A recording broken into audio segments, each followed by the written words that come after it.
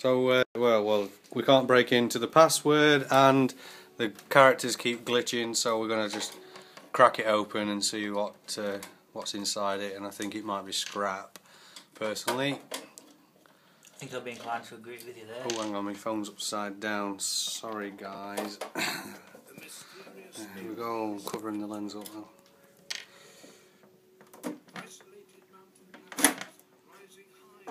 Oh, Whoa! Look at that.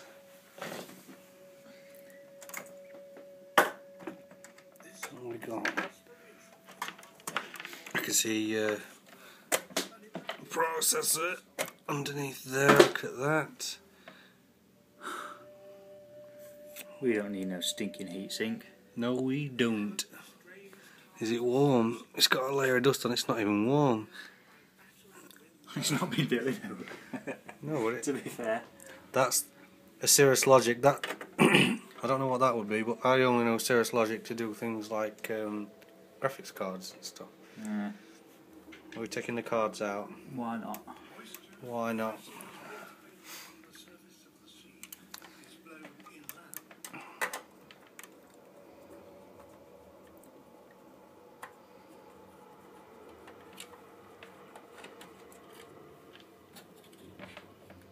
Don't forget these won't have been out in 10, 15 years, if at all.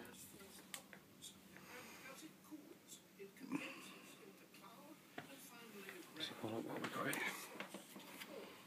It's got a uh, long ass connector on, and that LED blinks when it's powered up. In fact, this is warmer than the processor. I think it's probably the. Is it the SCSI controller? I don't know. Was still pissing around with Amigas when uh, when this was made. Yeah, me too. That's the VGA card. Trident. Yeah, when it's a 1 meg, 32 bit ISA bus. If you can get a 32 bit ISA, it says seems to think so. It's uh, dated 1992. It's a TVGA 8900D. Um, on that one,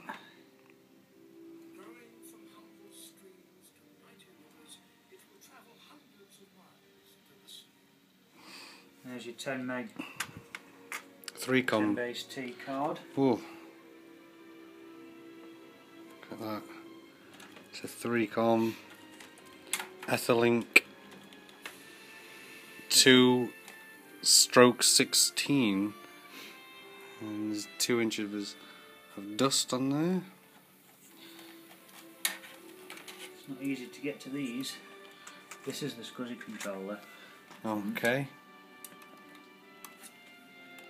I don't know how you're supposed to get them out. It's like to take the power supply out or something. Yeah, because the screws on this side down here. Oh yeah. You have to take the power supply out. Well, the power supply looks like a mighty beast anyway. So, is this a SCSI or an IDE hard disk drive? No, that's floppy. No, no, no, no. I was moving that out of the way to try and have a look. That's not IDE, that's too wide. Yeah. Right, power supply out. Can have a closer look at this motherboard. It's an M601V1.3B. Uh, no manufacturer. Good old. Uh, painless.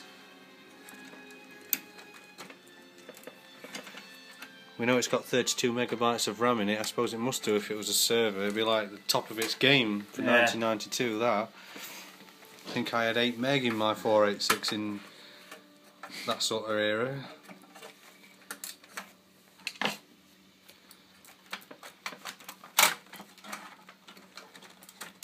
Phew. You beauty. Good. SCSI controller. And is this what the hard drive was plugged into? Yep. That's it, from 1995, so that must be a replacement board. Is that what it said in that service book, that it replaced the hard drive? Uh, something like that. Have a look. Well- Or, no, replace the cable. The cable, well, the board isn't cleaner than the rest of everything, and it's dated newer than the rest of everything, so I can only assume that it's a slightly newer piece of kit. I keep forgetting the cameras to one side on on these. Yeah. There's the hard drive LED. Two- yeah, hang on. That might be the hard disk. It might be the tape drive that's the SCSI device. Oh no, hang on. That's the hard disk there, isn't it? Yeah, the floppy's Floppy coming up. there. That- That, goes to nothing. That's just the um, card because it won't have any on board. No. My old 486 had a separate controller, so nothing was plugged into.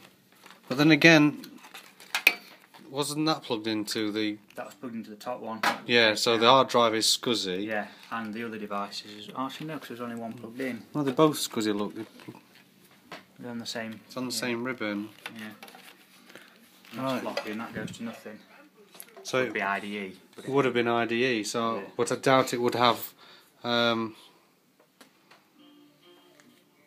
was it a tappy for CD-ROMs? pass.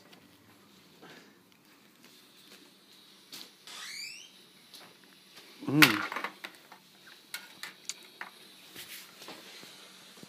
It's got a mix of 72 and 30 pin SIMMs, I would say.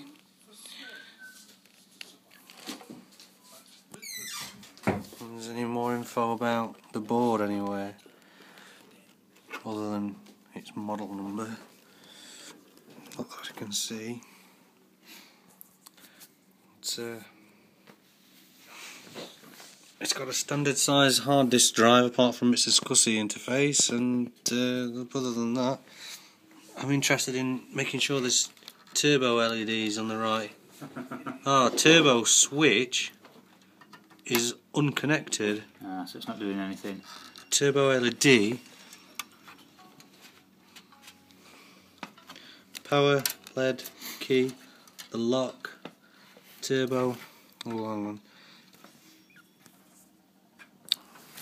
That's turbo LED reset switch turbo switch. So the turbo switch is that's the hard drive LED turbo switch must be disconnected. Mm. why would that be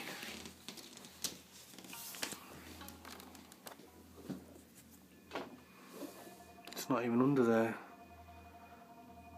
It's probably been removed. Yeah, so it doesn't get knocked accidentally or something and knock the. Uh, ooh. It's got a speak speakers behind there. No. Yeah, speakers down there. Hmm.